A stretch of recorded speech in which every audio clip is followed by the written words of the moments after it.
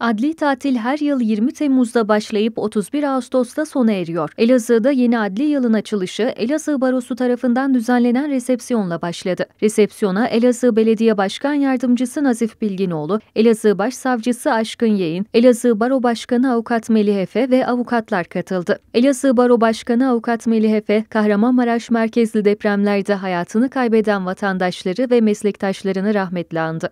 50 binden fazla vatandaşımızın hayatını kaybettiği büyük felakette 122 avukat meslektaşımızı ve 110 Adalet Bakanlığı personelinin kaybetmenin acısını hala yaşamaktayız.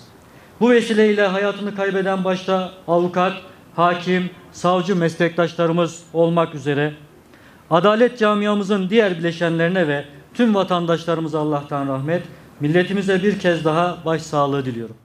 Avukat Melih Efe, baro olarak avukatların mesleki sorunlarını her platformda dile getirdiklerini söyledi.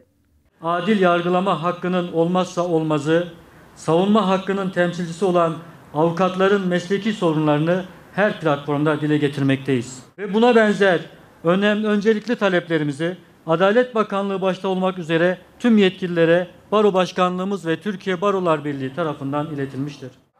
Bu duygu ve düşüncelerle tüm meslektaşlarımızın adli yılını şimdiden tebrik eder, hayırlı bir adli yıl olmasını niyaz ediyorum. Resepsiyonda ayrıca meslek büyüklerine plaket takdimi yapıldı. Resepsiyon müzik dinletisiyle devam etti. Ahbaplar